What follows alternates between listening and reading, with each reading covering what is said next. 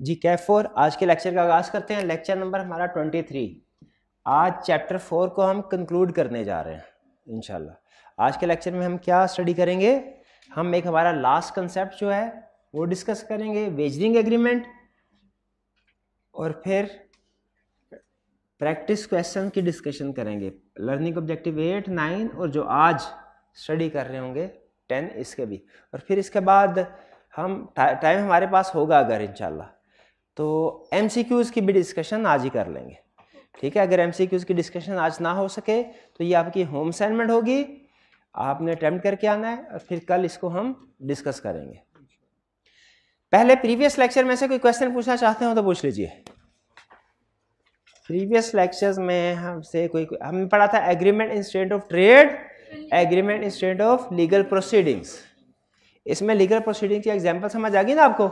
जब पार्टीज़ आपस में मिलकर कहती हैं हम में से कोई भी पार्टी तो दूसरे के खिलाफ केस फ़ाइल नहीं करेगी। ये एग्रीमेंट क्या होता है?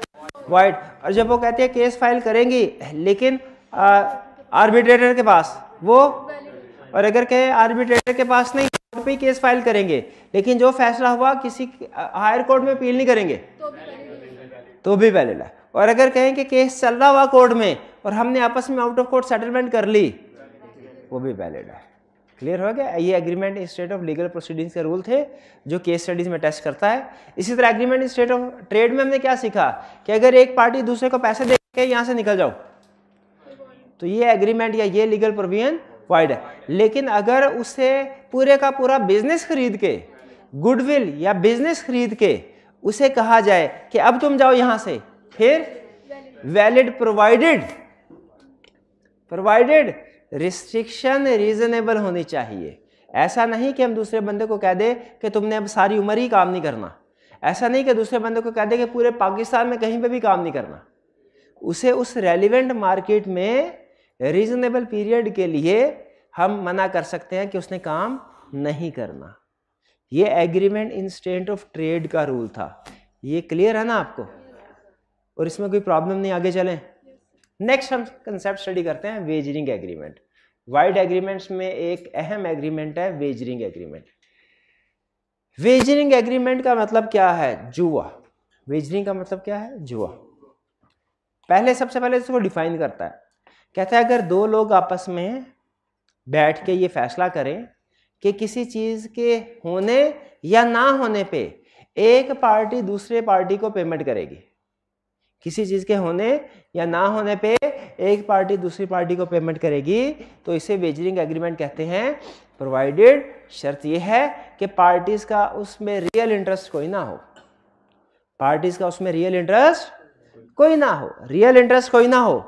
जैसे फ़र्ज़ कीजिए, अगर मैं इन्हें कहता हूँ, आप मुझे मोटरसाइकिल देंगे तो मैं आपको पचास हज़ार रुपया दूँगा। Agreement to give money in case of happening of something है, वो क्या? कि बाइक देंगे। क्या ये वेजरिंग एग्रीमेंट है? ये वेजरिंग एग्रीमेंट क्योंकि इसमें पार्टीज़ का रियल इंटरेस्ट है। लेकिन अगर पार्टीज़ का रियल इंटरेस्ट ना हो, जैसे आज बारिश होगी तो मैं आपको दस हज़ार रुपये दूँगा, अगर बारिश नहीं हुई तो आप मुझे दीजिएगा। इनमें पार्टीज़ का रियल इंटरेस्ट है कोई? कोई रियल इंटरेस्ट नहीं है। तो ये वेजरिंग एग्रीमेंट है agreement to pay something on happening और नॉन हैपनिंग ऑफ़ समथिंग ठीक है in which parties do not have real interest happening और नॉन अगर बारिश ना हुई तो तुम पैसे देना। हाँ। ठीक है, बारिश ना, अगर बारिश हुई तो मैं पैसे दूँगा। To pay on happening of something अगर ना हुई तो तुम मुझे पैसे देना। नॉन हैपनिंग अच्छा मुझे बताइए मैं और भाई, ये दोनों मैच देख रहे हैं।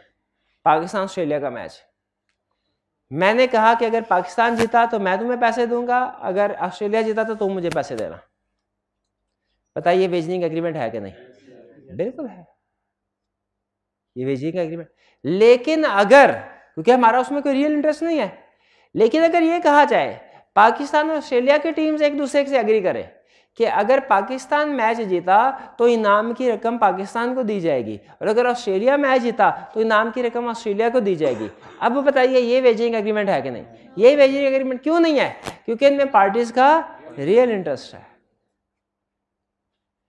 ठीक है? तो वेजरिंग एग्रीमेंट का मतलब to pay some valuable thing on happening और नॉन हैपनिंग ऑफ़ समथिंग ठीक है? In which parties do not have real interest इस तरह गैमलिंग गैम्बलिंग भी यही होते हैं ना।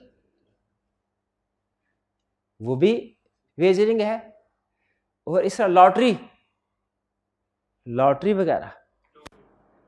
ठीक है? ये भी वेजरिंग एग्रीमेंट ही है। ठीक है? छोटे होते, याद है ना आपको, पर्चियाँ होती थी, निकालते थे, कभी कोई टॉफियाँ निकलती थी, कभी बिस्किट निकलते थे। वो बेसिकली लॉटरी की बहुत ही बेसिक किस्म थे। ब्रॉड लेवल भी इसी तरह लॉटरी नंबर ले लेते हैं आप, और बाद में नंबर लग जाए तो आपको इनाम मिलता है। ये प्राइज बॉन्ड वगैरह। ये एक तरह से, यह है प्राइज बॉन्ड की एग्ज़ाम्पल तो नहीं मुझे देनी चाहिए। प्राइज बॉन्ड नहीं, लेकिन वैसे इस तरह की जो लॉटरी स्कीम्स होती हैं, ये वाइड होती हैं। ठीक है तो ये वेजरिंग एग्रीमेंट समझ आ गया आपको क्या है? Agreement to pay some valuable thing to other party on happening और non happening of something in which parties do not real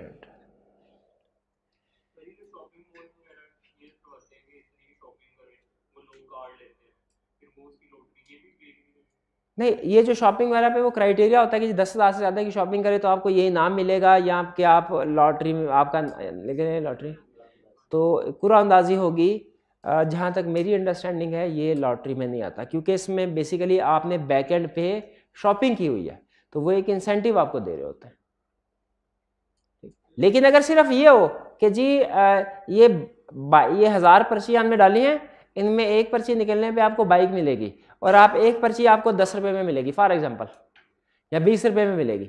और सिर्फ़ पर्ची खरीद के आप उसमें अपनी एंट्री करवा रहे हो, कोई बैक एंड में ट्रांजैक्शन नहीं है तो उस सूरत में ये लॉटरी होगी और वेजरिंग एग्रीमेंट में आ जाएगी।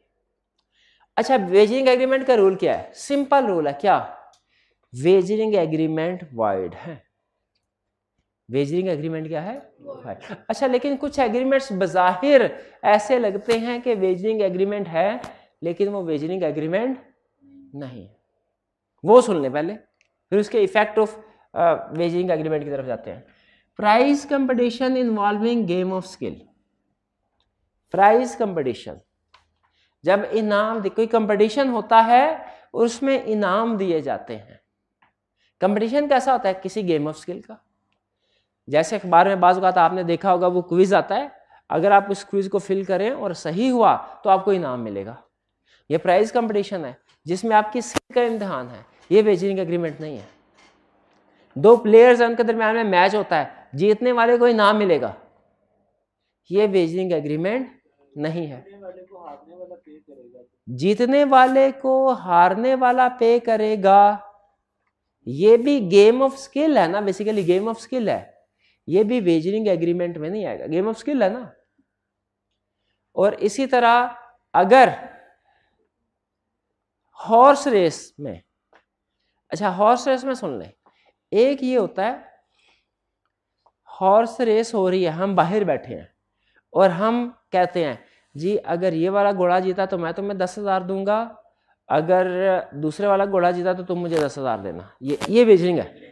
लेकिन अगर इनाम ये हो कि दस घोड़े दौड़ रहे हैं और उनमें जीतने वाले घोड़े को इनाम मिलेगा, ये वेजिंग एग्रीमेंट नहीं है, क्योंकि ये basically game of prize competition है। रेस है, दौड़ लगी है प्राइज कंपटीशन है गेम ऑफ़ स्किल है, उस पर इनाम मिलेगा। तो ये डिफरेंस ध्यान में रखिएगा, अगर पार्टीज़ का रियल इंटरेस्ट हो, उस सूरत में वो वेजिंग एग्रीमेंट नहीं होता। लेकिन जो पार्टीज़ बाहर बैठी आउटसाइडर्स वो अगर एग्रीमेंट करें इस तरह का, वो वेजरिंग एग्रीमेंट होगा। लॉ ने क्लियरली दो एक्सेप्शन बताई हैं, जो कि वेजरिंग एग्रीमेंट में नहीं होंगी। एक विनर ऑफ़ हॉर्स रेस ठीक है? घोड़ों की रेस लगी है और उसमें जो जीतेगा, उसको इनाम मिलेगा, वो भी वेजरिंग एग्रीमेंट नहीं है। दूसरा जो प्राइज कंपटीशन होते हैं, कोई भी कंपटीशन हो जाए, कोई रेसलिंग हो जाए, कोई क्रिकेट हो जाए, कोई और खेल हो जाए, दौड़ हो जाए, इसमें जो जीतने वाले को इनाम मिलेगा, वो वेजिंग एग्रीमेंट नहीं होगा, वो प्राइज कंपटीशन होगा कंपटीशन का प्राइस वो देखिए फ़र्स्ट से ले पाए चाहे टॉप थ्री पोजीशन को प्राइस दें, चाहे टॉप टेन को दें, इससे फ़र्क नहीं पड़ता। अगर किसी को प्राइस दिया है कंपटीशन की वजह से, क्योंकि उसने कंपटीशन में पार्टिसिपेट किया और उसमें कोई पोजीशन ली तो उस बेस के ऊपर जो इनाम दिया जाएगा, वो वेजरिंग एग्रीमेंट नहीं होगा। अच्छा इफ़ेक्ट ऑफ़ अनलॉफुल या इनलीगल एग्रीमेंट इसको ज़रा टेंटिव होकर सुनिएगा। पहली चीज़ मुझे ये बताएँ हम पढ़ रहे हैं वेजरिंग एग्रीमेंट। लेकिन यहाँ पे ये नहीं होना चाहिए था इफ़ेक्ट ऑफ़ वेजरिंग एग्रीमेंट। इसलिए कि वेजिंग एग्रीमेंट अनलॉफुल की एक एग्जांपल है। इलीगल मेन कंसेप्ट तो हम अनलॉफुल एग्रीमेंट्स पढ़ रहे थे ना, जिसमें वो लंबी चौड़ी सात आठ आइटम्स की लिस्ट थी। वेजिंग एग्रीमेंट तो एक एग्जांपल है। तो ये जो कंसेप्ट है ना इफ़ेक्ट ये सारे के सारे वाइड एग्रीमेंट्स के लिए ये सिर्फ़ वेजरिंग के लिए नहीं है, ये वेजरिंग पे भी अप्लाई होता है और बाकी के भी जितने अनलॉफुल वाइड एग्रीमेंट्स है, उन पे भी अप्लाई होता है। इसीलिए इसकी हेडिंग में इफ़ेक्ट ऑफ़ वेजरिंग एग्रीमेंट नहीं लिखा। हालाँकि वेजरिंग एग्रीमेंट में भी यही रूल लगेगा। लेकिन वेजरिंग एग्रीमेंट के अलावा जो अनलॉफुल एग्रीमेंट्स हैं, उन पे भी ये रूल लगे। खास तौर पे वेजरिंग पे तो लाजमी लगाना है ना। वेजरिंग पे तो लाजमी लगा। लेकिन ये जो कंसेप्ट स्टडी करने जा रहे हैं हम ये बाकी के वाइड एग्रीमेंट अनलॉफुल एग्रीमेंट्स पे भी अप्लाई होगा। जैसे आप इन भाईजान को पैसे देते हैं और इन्हें कहते हैं कि जी, इसका मर्डर कर दें। ठीक है? क्या ये वेजनिंग एग्रीमेंट है? नहीं है ना, लेकिन अनलॉफुल है। बताइए, जो कंसेप्ट पढ़ने जा रहे हैं, ये इस ट्रांजैक्शन में अप्लाई होगा कि नहीं होगा? बिल्कुल होगा। कंसेप्ट जरा गौर से सुनिएगा। इलीगल एग्रीमेंट्स जितने भी हैं इंक्लूडिंग वेजरिंग एग्रीमेंट्स वो वाइड है। इलीगल एग्रीमेंट जितने भी हैं वो चाहे illegality at time of contract हो, चाहे बाद में राइज हो, इससे फ़र्क नहीं पड़ता। कोई से भी इलीगैलिटी हो, चाहे इनिशियली या सब्सिक्वेंट जो इलीगल एग्रीमेंट्स जितने भी है वो वाइड अच्छा ये तो इजीली समझ आ जाती है तो आपने पहले से पढ़ा हुआ। इलीगल एग्रीमेंट्स वाइड अगली बात जो है ना, वो शायद आपने पहले से ना पढ़ी हो। अगली बात क्या है? Collateral agreements are also void collateral agreements are इसका मतलब है इलीगल एग्रीमेंट के ऊपर, जो दूसरा कॉन्ट्रैक्ट डिपेंडेंट होगा। फॉर एग्ज़ाम्पल अगर मैं इनसे कहूँ कि हम ऐसा करते हैं, चोरी चिकारी करके पैसे इकट्ठे करते हैं, एक फिर उसके बाद चोरी चिकारी से तोबा करके ना तो हम कोई अपना ट्रेड का बिज़नेस शुरू करेंगे। अब ये बेसिकली जो एग्रीमेंट क्या है? ये वाइड है। चोरी चिकारी वाला एग्रीमेंट वाइड इसके बाद फ़र्ज़ कीजिए एक साल हमने चोरी चिकारी की पकड़ने गए, उसके बाद बिज़नेस शुरू किया पार्टनरशिप का, और ये मेरे सारे पैसे लेके भाग गए। क्या ये मैं इनसे पैसे रिकवर करवा सकता हूँ? नॉर्मल कोई पार्टनरशिप में से पार्टनर पैसे लेके भागे ना तो हम रिकवर करवा सकते हैं। लेकिन इसमें रिकवर क्यों? क्योंकि जो पार्टनरशिप का एग्रीमेंट था, ये बेस कर रहा था कोलेड्रल था डिपेंड कर रहा था किसके? एक दूसरे वाइड एग्रीमेंट के। तो अगर मेन एग्रीमेंट वाइड है तो कोलेट्रल एग्रीमेंट्स भी वाइड होंगे। ये बात समझ आई है? माइनर की शादी का एग्रीमेंट वैलिड है कि वाइड है? वाइड है ना? आपको याद एग्जांपल बताए थे कि माइनर के बाप ने किसी पर्सन से लोन लिए। ये कह के, ये कह के कि माइनर की शादी कर दें ये आपको कंसेप्ट समझाया था if permitted would defeat provision of law में। अब इसमें मेन एग्रीमेंट लोन है। सॉरी ये मेन एग्रीमेंट जो है माइनर की शादी है। उसके ऊपर डिपेंड कर रहा लोन लोन मिलेगा तो माइनर की शादी होगी। लेकिन अगर मेन एग्रीमेंट आपका इलीगल है वॉइड है तो बताइए ये लोन का एग्रीमेंट जो कि नॉर्मली वैलिड होता है, ये भी वॉइड हो जाएगा। तो illegal agreements including wagering agreement का रूल क्या है? मेन एग्रीमेंट वाइड जो कोलेट्रल एग्रीमेंट है कोलेट्रल एग्रीमेंट चाहे इंडिपेंडेंट होते तो वैलिड होते, लेकिन जब वो कोलेट्रल टू वाइड एग्रीमेंट हो गए तो खुद भी वाइड हो गए। तीसरा, रो no remedy is allowed remedy का मतलब अगर कोई पार्टी वायलेशन करती है तो दूसरी पार्टी इसके खिलाफ कोई लीगल एक्शन नहीं ले सकती। ये इलीगल एग्रीमेंट्स का रूल होता है। जैसे ये भाईजान इनसे कहें कि आप हमारी शॉप पे आए एसी पचास एक लाख का एसी खरीद लें। इन्होंने एक लाख की पेमेंट कर दी। दूसरी पार्टी ने एसी डिलीवर नहीं किया। क्या पहली पार्टी पैसे वापस ले सकती है? ले सकती है, बिल्कुल ले सकती है। लेकिन फ़र्ज़ कीजिए, पहली पार्टी ने दूसरी को पैसे दिए और कहा कि तुम ऐसा करो, तीसरी पार्टी को मर्डर कर दो। दूसरी पार्टी ने पैसे ले लिए, इसका मर्डर नहीं किया। क्या पहली पार्टी दूसरी से पैसे वापस ले सकती है? क्यों? काम तो किया नहीं उसने, इसके पैसे लिए थे। इलीगल एग्रीमेंट लॉ कहता है इलीगल अनलॉफुल एग्रीमेंट्स में हम किसी किस्म का कोई रेमेडी कोई course of action legal course of action available नहीं होगा उस पार्टी के खिलाफ। जिसने इलीगल एग्रीमेंट किया है। ठीक है? ला, लॉ का एक मुहावरा है, वो ये कहते हैं, सिर्फ़ साफ़ हाथ कानून का दरवाज़ा खटखटाए। क्या कहते हैं? सिर्फ़ साफ़ हाथ क्लीन हैंड्स कानून का दरवाज़ा खटखटाए। तो जिसने दूसरे को मारने के लिए पैसे दिए हैं, क्या उसके हाथ साफ़ हैं? क्या उसको कानून की मदद लेनी चाहिए? अपने एग्रीमेंट के नहीं, कानून कहता है, नहीं, हम इसको किसी किस्म की कोई मदद नहीं देंगे। यही समझा रहा है। नो रेमेडी इज़ अलाउड ना इधर डैमेजेस ना रेस्टिट्यूशन ना पैसे वापस मिलेंगे, ना डैमेजेस और ना ही हम वो काम करने को कहेंगे जिसका एग्रीमेंट हुआ। तीनों कंसेप्ट समझ आ गए? इलीगल एग्रीमेंट या वेजरिंग का। इसका मतलब है, फ़र्ज़ कीजिए, छोटी सी एग्जांपल दीजिए। एंड पे। मेरी और इन भाई की शर्त लग गई कि आज जो मैच होगा वो पाकिस्तान जीतेगा कि ऑस्ट्रेलिया जीतेगा। हम दोनों ने पैसे जमा करवा दिए इनको। ये भाईजान पैसे लेके निकल गए। क्या हम इनके खिलाफ लीगल एक्शन ले सकते हैं? क्यों नहीं ले सकते? इलीगल एग्रीमेंट इलीगल एग्रीमेंट्स में कोई remedy remedy means course of action कोई रेमेडी अलाउड नहीं होती। हमारे पास कोई कोर्स ऑफ़ एक्शन नहीं है। हम कानून की मदद नहीं ले सकते। ये कंसेप्ट क्लियर हो इफ़ेक्ट वाला? अब कोई क्वेश्चन पूछना हो तो पूछ ले।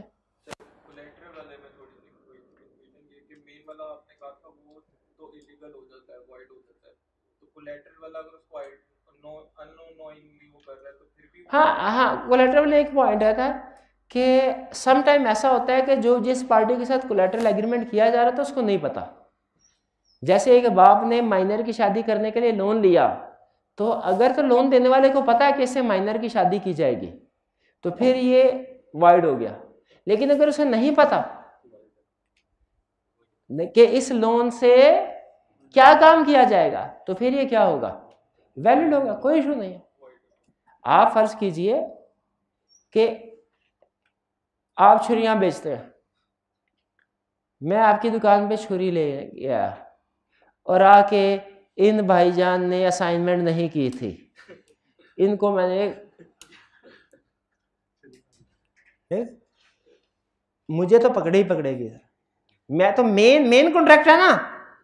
क्या इनको पकड़ेंगे कि नहीं? पुलिस इसको पकड़ेगी कि नहीं? डिपेंड करता है। क्या इनको पता था कि इस छुरी का इस्तेमाल क्या किया जाए? अगर तो मैंने इन्हें कहा था कि यार ऐसी छुरी देना कि ना जो बंदे को बस जख्मी करे, उसको पता चल जाए, ठीक है? बाकी कोई शदीद नुकसान ना पहुँचाए। इस, इनको अगर मोटिव का पता था तो पुलिस इसको पकड़ेगी, वरना नहीं पकड़ेगी।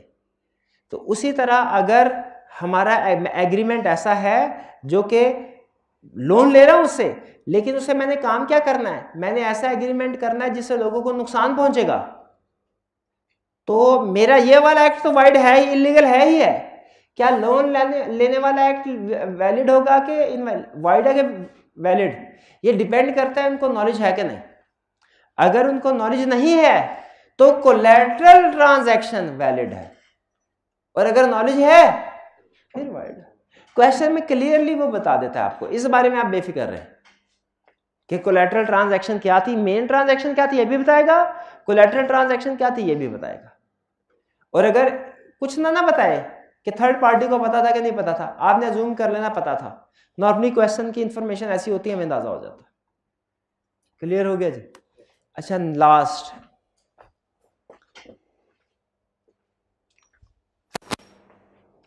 गार्डियन माइनर पे जो पैसे खर्च करता है, उससे रिकवर करवाने का हक है कि नहीं?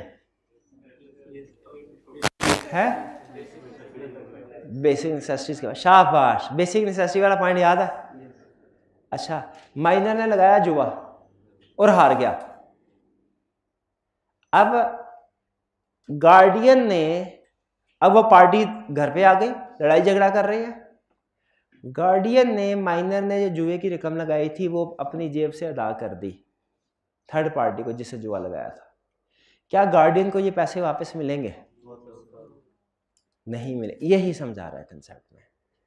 कह रहा है कि अगर कोई भी पार्टी वेजरिंग एग्रीमेंट की पेमेंट करती है ना तो उसे रिकवरी नहीं होगी। यानी अगर मेन पार्टी ने मिस्टर ए ने कि बी के साथ वेजिंग एग्रीमेंट किया, मिस्टर ए हार गया, मिस्टर ए के पास पैसे नहीं है। किसी भी दूसरे बंदे ने अगर मिस्टर ए की हालत देख के उसकी जुए की रकम अदा कर दी तो दूसरा बंदा क्या मिस्टर ए की प्रॉपर्टी से या मिस्टर ए से लीगली वो पैसे रिकवर करवा सकता है? लॉ कहता है, नहीं करवा सकता। गार्डियन ऑफ़ माइनर हो या किसी डिसीज का रिप्रेजेंटेटिव कोई फोर्थ हो गया, मर गया, उसके जो लीगल रिप्रेजेंटेटिव है, वो हो या कोई माइनर का गार्डियन हो, कोई भी बंदा हो, दोनों में से इनके अलावा भी कोई हो, अगर वो किसी की जुए की रकम अदा करता है अगर वो कोई पेमेंट करता है जुए की रकम की तो उससे वो रिकवरी नहीं करवा सकता। उस रकम की रिकवरी नहीं करवा सकता। समझ आ रही है? क्योंकि लॉ कहता है, हम जुए को प्रमोट नहीं करेंगे। ठीक है? आपका कोई कज़न है फॉर एग्ज़ाम्पल वो आपके सामने आ गया बहुत परेशान है रो रहा है। आपने पूछा क्या हुआ? उसने कहा मैं जुए की रकम लगा बैठा हूँ हार गया हूँ। अब मैं घर नहीं जा रहा क्योंकि घर वो बंदे जो है वो हर घंटे बाद आ जाते हैं पैसे लेने के लिए। आपके दिल में तरस आया। आपने कहा तुम्हारे जुए की जो रकम हारे हो मैं देता हूँ। आपने वो पैसे अदा कर दिए। क्या आप उससे रिकवर करवा सकते हैं? नहीं करवा सकते। अगर नहीं पता तो फिर ज़ाहिर है फिर आपने उसको लोन दिया फिर आप दे सकते हैं। लेकिन अगर पता है कि आप जुए की रकम पेमेंट कर रही है तो उस सूरत, जुए की रकम अदा की जा रही है, उस सूरत में रिकवरी नहीं होगी। इलीगल किसको किसको प्रिवेंट करना गिल्टी क्रिमिनल प्रोसिक्यूशन नहीं नहीं ये ये स्टिफलिंग क्रिमिनल प्रोसिक्यूशन का केस नहीं है। नहीं, क्रिमिनल, क्योंकि ये क्रिमिनल स्टिफलिंग क्रिमिनल प्रोसिक्यूशन की कंडीशन यहाँ पे अप्लाई होती है। उसमें कोई क्राइम करता था और हम उसको कहते थे, हम लोगों को नहीं बताएँगे, तुम्हारा जुर्म किसी को नहीं बताएँगे, चुप रहेंगे। वो था स्टिफलिंग क्रिमिनल प्रोसिक्यूशन। इसमें मेरा नहीं ख्याल। तो इसमें वो इस तरह कह सकते हैं कि अगर आप उसके पैसे पे करें आपको पता है उसने जुआ लगाया और ढंग आपको लिया तो आपको पैसे देने की वजह बताना चाहिए कोर्ट को कि इसको जो मैं भी कोई छोटा अगर अगर आपका कंसेप्ट देखें असल चीज़ है कंसेप्ट क्लियर होना। अगर स्टिफिंग क्रिमिनल प्रोसिक्यूशन के साथ आपका कंसेप्ट लिंक होके क्लियर हो रहा है मुझे कोई एतराज़ नहीं आप उसके साथ लिंक कर लें। लेकिन वो कंसेप्ट बहरहाल डिफरेंट है और ये डिफरेंट है। आप स्टिफलिंग क्रिमिनल प्रोसिक्यूशन की एग्ज़ाम्पल में एग्ज़ाम में ये एग्ज़ाम्पल नहीं लिखेंगे। एग्ज़ाम में नहीं लिखेंगे। अगर आप खुद समझते हैं कि उससे कंसेप्ट लिंक हो रहा है और आपको समझ आ जाती है लिंक करके तो फिर कर सकते हैं। एग्ज़ाम में बहरहाल नहीं लिखेंगे। क्लियर हो गया बेजरिंग तो बताइए जरा क्विकली एक मिनट के अंदर, हमने बेजरिंग में क्या सीखा? बेजरिंग एग्रीमेंट क्या होते हैं? वाइड लेकिन कौन से बेजरिंग एग्रीमेंट है जो जो बजाहिर वेजरिंग रखते हैं, असल में वेजरिंग नहीं है? प्राइस कंपटीशन वाले, यानी जो मुकाबले होते हैं, और हॉर्स लेकिन याद रखे, अगर इनमें पार्टीज़ का रियल इंटरेस्ट है ना तो फिर ये वेजरिंग नहीं है। अगर रियल इंटरेस्ट नहीं है तो फिर जैसे दो पहलवान लड़ रहे हैं, आपस में हारने जीतने वाले कोई नाम मिलेगा, सो ठीक है वैलिड है। लेकिन जो बाहर बैठे हुए हैं, वो अगर जुआ लगा रहे हैं तो वो वेजरिंग हो जाएगा।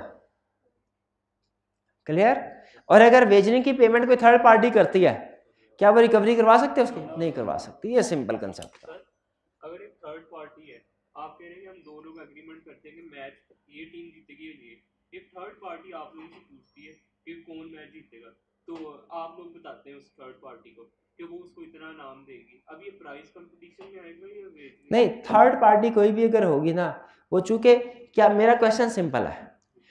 क्या जो भी प्राइज वगैरह देने की बात हो रही है, ये उन क्रिकेटर्स को इनाम देने की बात हो रही है जो खेल रहे हैं, या अदर देन क्रिकेटर्स की बात हो रही है? अदर तो ये वेजरिंग है। तो ये वेजरिंग होगा। रिकवरी में माइनर भी रिकवरी नहीं करवा सकता। ठीक है? और अगर माइनर के भी हाथ पे आप पेमेंट करते हैं एज गार्डियन तो भी रिकवरी नहीं कर सकते। चलिए, ये हमारा कंसेप्ट था छोटा सा। अब पास पेपर्स की तरफ़ चले। चलिए, ये पास कीजिएगा एक के लिए। जी, अब हम क्वेश्चन की तरफ़ चलते हैं। अच्छा पहले एक स्टूडेंट ने क्वेश्चन पूछा क्या क्वेश्चन था आपका? दोबारा पूछिएगा। स्पेकुलेटिव बिज़नेस वेजरिंग होता है कि नहीं होता? अच्छा पहले तो स्पेकुलेटिव बिज़नेस समझ ले क्या होता है।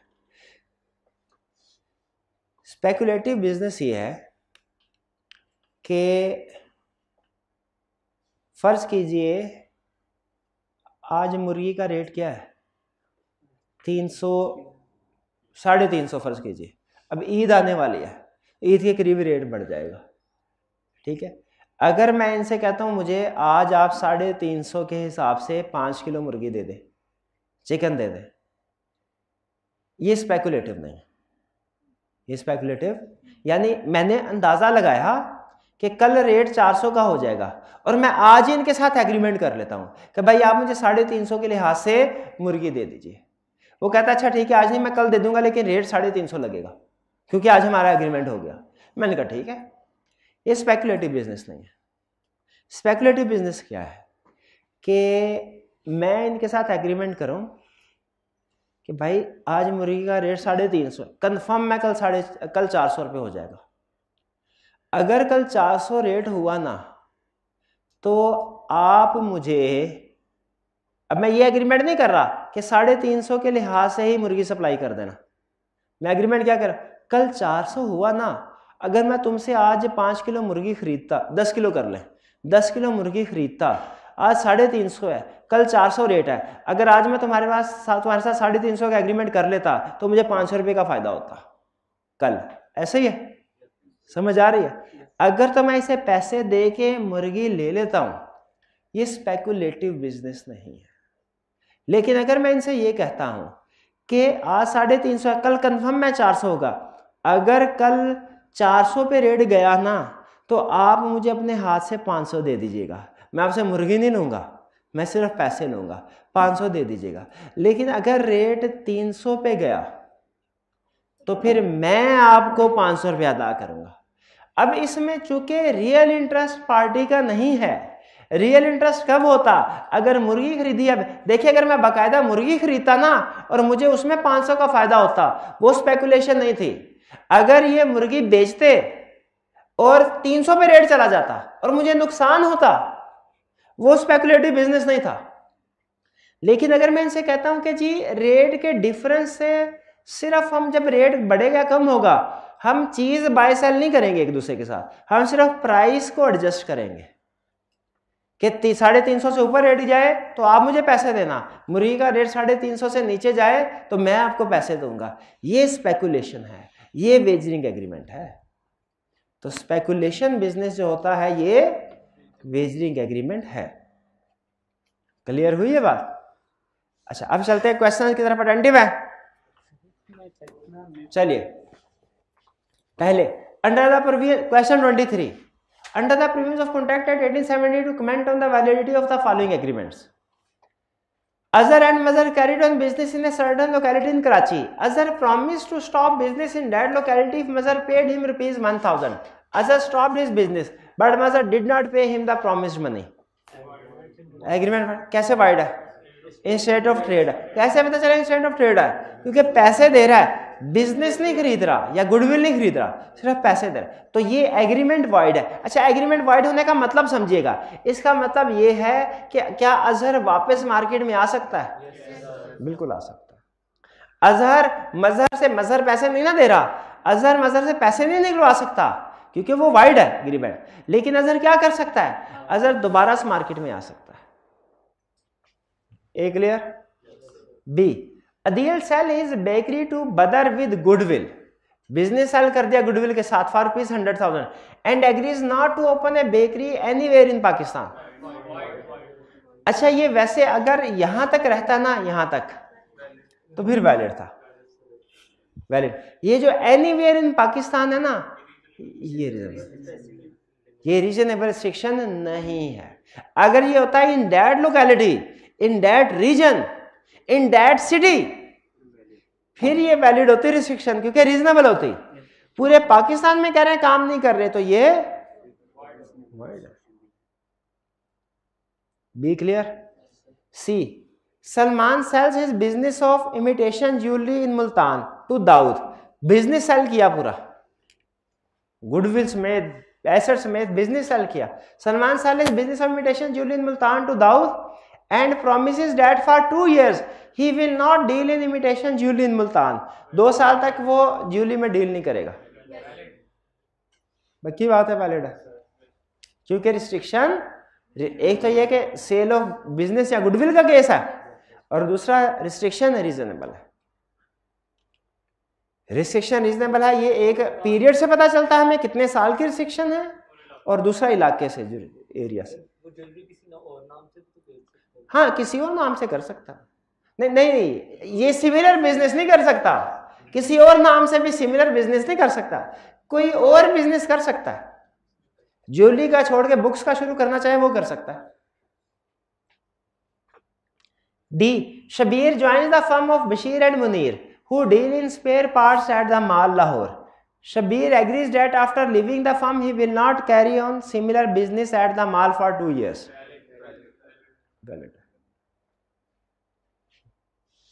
reasonable है ना रिस्ट्रिक्शन चलिए आगे चलते नेक्स्ट क्वेश्चन अंडर ये 24 है?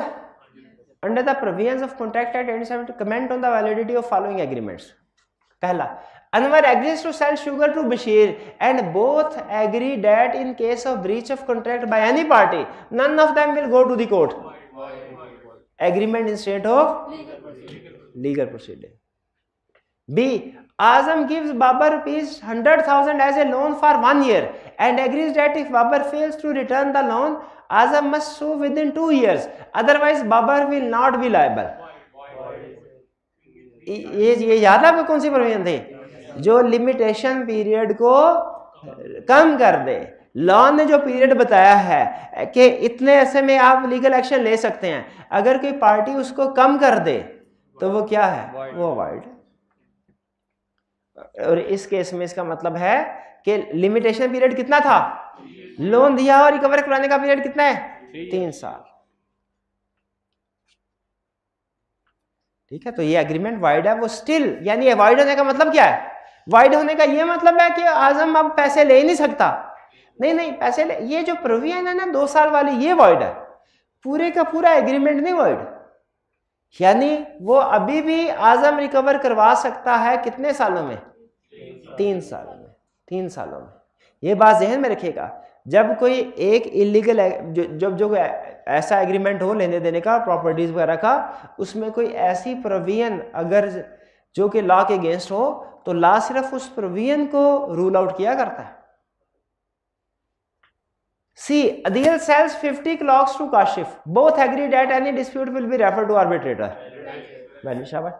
D Atif sells sports goods from Sialkot to Naeem Lahore. In case of dispute, they may sue in Sialkot court और Lahore court both agree that they will sue in Lahore court only select किया एक court between two equally competent courts valid तो E Adeel contracts to sell books to Naeem in case of dispute, they decide that the matter shall be taken to district civil courts as per law, but no party shall appeal against the decision to high court. Upper court में appeal नहीं करेंगे valid है। ये agreement state of legal proceedings तो नहीं है? नहीं, क्योंकि जो लोअर कोर्ट में तो जा रहे हैं वो डिसीज़न करवाने के लिए।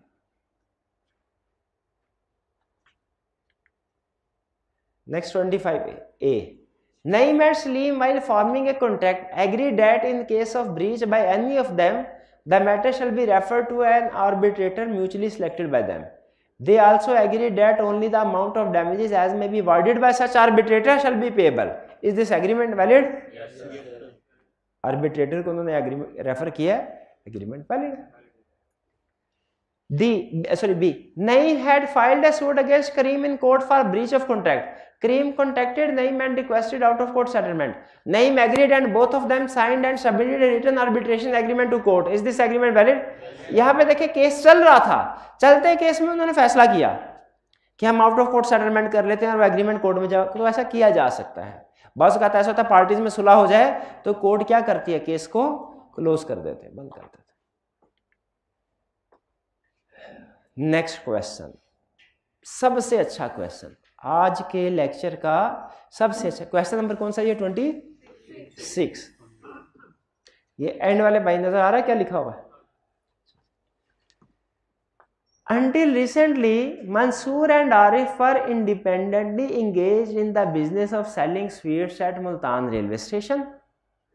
दोनों इंडिपेंडेंटली मिठाई भेजते थे रेलवे स्टेशन पे। मंसूर इनका day loss due to competition Mansoor को नुकसान था।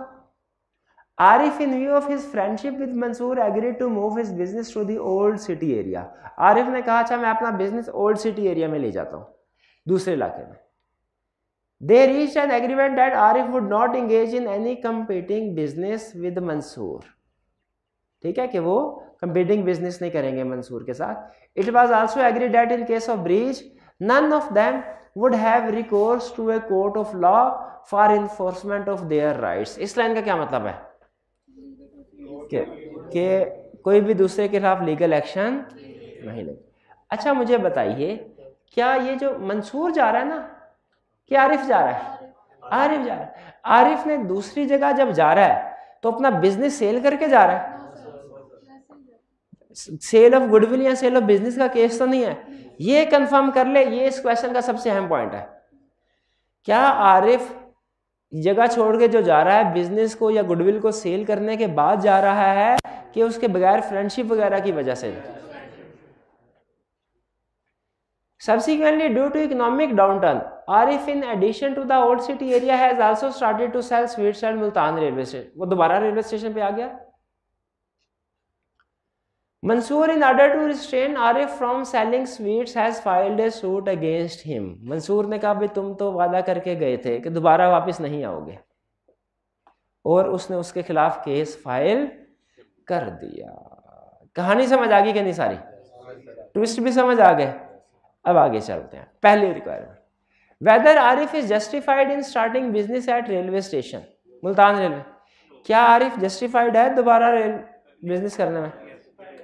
जस्टिफाइड है? आरिफ दोबारा आके बिज़नेस कर सकता है? वो तो वादा करके गया था मैं इधर नहीं आऊँगा। कर सकता है क्योंकि वो अपनी गुडविल पेश कर वो तो ये कह के गया था कि मैं दोबारा इधर काम नहीं करूँगा। तो ये एग्रीमेंट स्टैंड ऑफ़ ट्रेड था। Agreement in state of trade void है। इसीलिए आरिफ वापस आ सकता है। आरिफ काम शुरू कर सकते क्योंकि agreement state of trade void है। B what would be your answer in one above? If Mansoor had bought the goodwill of business. अगर गुडविल को बेच के गया होता फिर नहीं आ सकता था। फिर अब देखिए रीजनेबल ही था ना। उसने सिर्फ़ उसे मना किया हुआ है रेलवे स्टेशन पे। ओल्ड सिटी में जाकर बिज़नेस कर सकता है। तो वन में आरिफ वापस आ सकता है जस्टिफाइड है। क्यों? क्योंकि उसने बिज़नेस को गुडविल को सेल नहीं किया। टू में आरिफ वापस नहीं आ सकता। क्यों? क्योंकि उसने गुडविल को सेल कर दिया हुआ फिर कह रहा है whether Mansoor is justified in filing a suit in the court of law in second above इस केस में बताइए।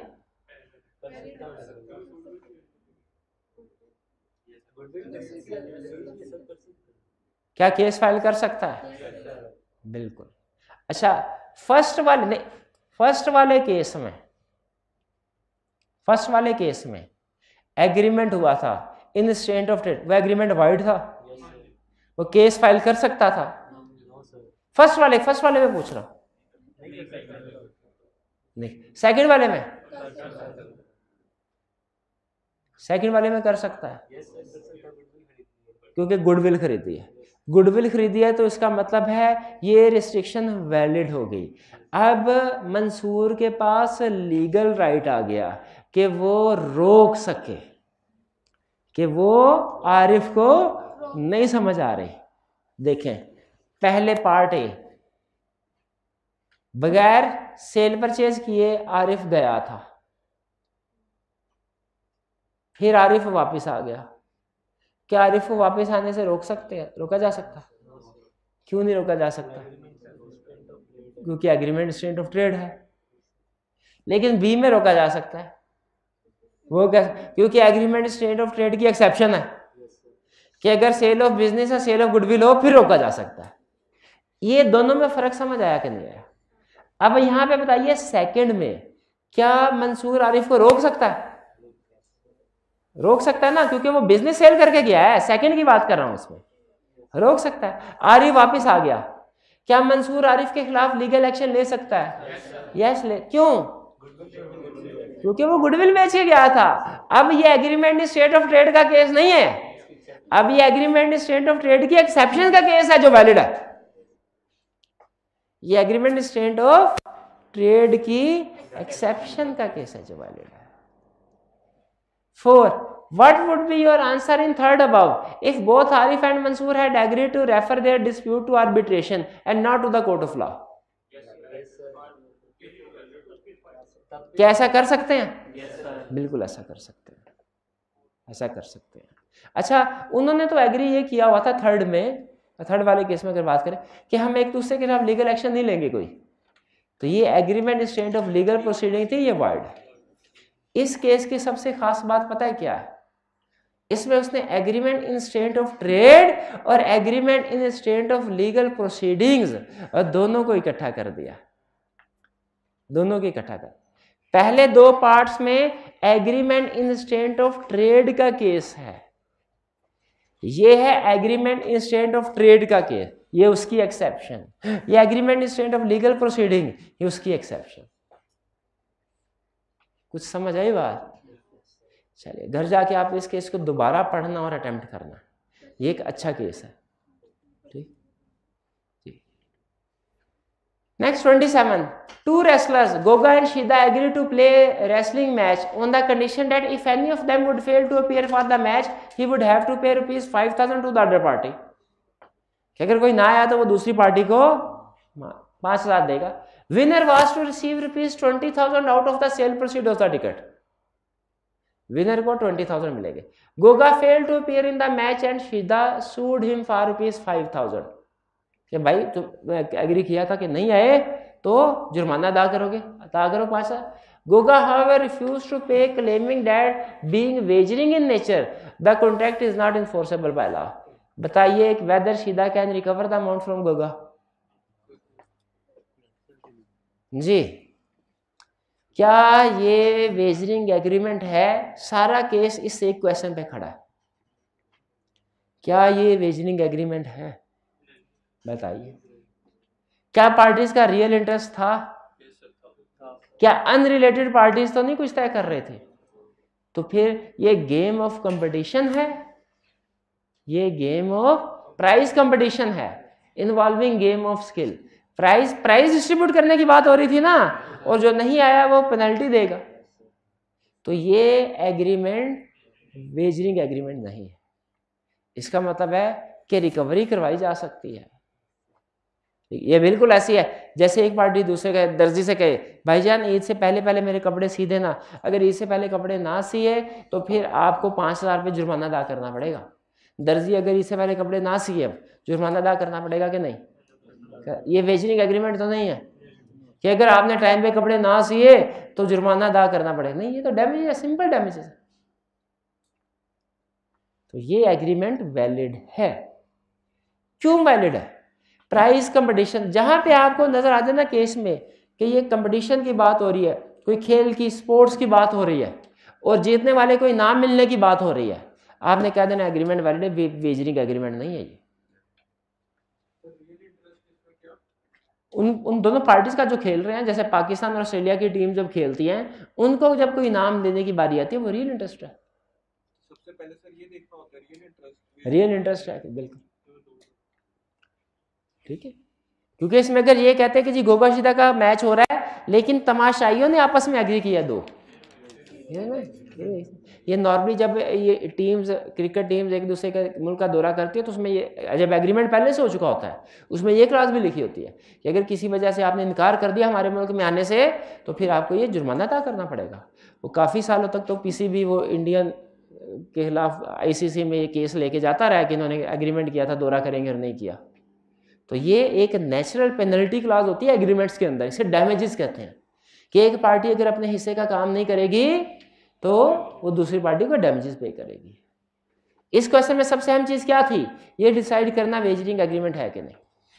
28 on first July 2018 Basit agreed to five hundred gram of silver from Taimur after two months at a price of 65 per gram on the due date the price of silver was 62 per gram 62 per gram यानी उसने 65 के हिसाब से कहा था और due date पे price कम हो गए सिक्सटी टू हो गई। Discuss the validity of above contract if both Basin and Tamur had intention to sell the transaction by paying the difference between contract price and the market price without making any delivery. Without making any delivery.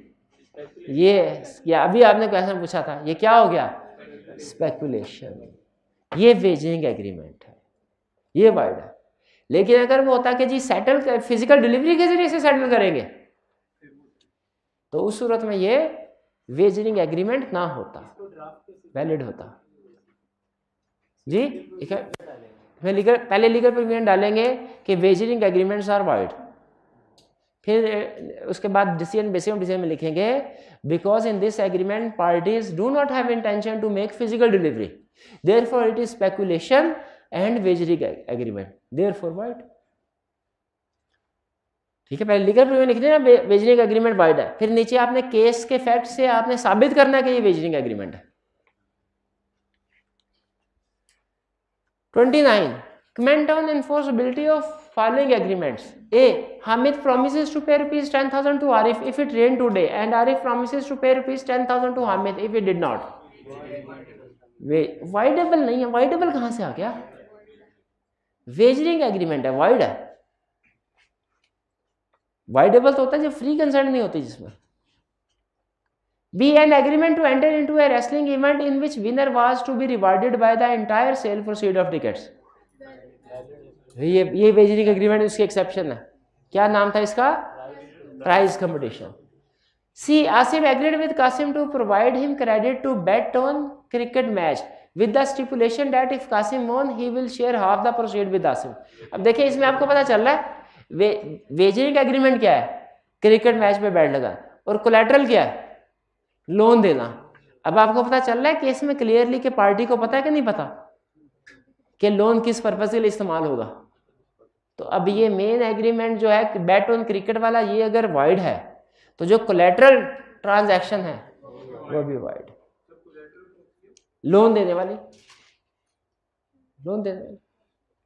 तो wagering agreement के साथ जितने भी related agreements होंगे, जितने भी agreements wagering के साथ रिलेटेड होंगे वेजरिंग के साथ कोलेट्रल होंगे, वो सारे के सारे वाइड होंगे। D Sajid and Majid deposited rupees five thousand each with Nawaz for betting winner to take whole amount Sajid won the bet but Nawaz refuse to pay any amount to him जिसको पैसे दिए थे कि भाई मानत के तौर पे जुआ कराने लगे हैं मानत के तौर पे तुम्हारे पास पैसे रखे हैं। वो कहता है, मैंने पैसे नहीं देने। एग्रीमेंट वैलिड है कि वाइड रिकवरी हो सकती है। वाइड एग्रीमेंट्स में कोई रिकवरी नहीं हो सकती। ये वेजरिंग एग्रीमेंट में इलीगल में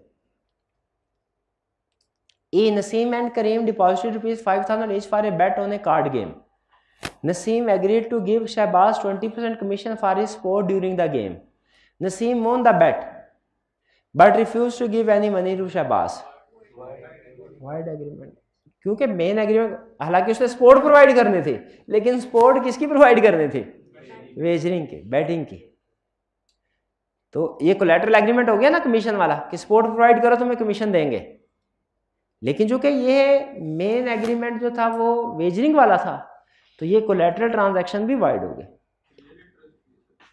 जी? हाँ रियल इंटरेस्ट वेजरिंग में वेजरिंग की ट्रांजैक्शन हाँ उसमें रियल इंटरेस्ट नहीं है उनका। वेजरिंग एग्रीमेंट अगर हो गया आपस में तो याद रखें, उसमें इन पार्टीज़ का रियल इंटरेस्ट नहीं होता। रियल इंटरेस्ट नहीं होता। F Naseer is guardian of Kabir a minor Kabir lost a bet and Naseer paid rupees seven thousand from his pocket for the bet guardian ने माइनर के पैसे दिए कबीर के। कबीर शर्त हार चुका था। क्या ये गार्डियन रिकवर करवा सकता है? नहीं, क्योंकि नेसेसरीज ऑफ़ लाइफ है ही नहीं जुआ क्लियर चलिए, ये थे हमारे क्वेश्चंस इनके साथ ही हमारे आज के लेक्चर का टाइम भी ख़त्म होता है।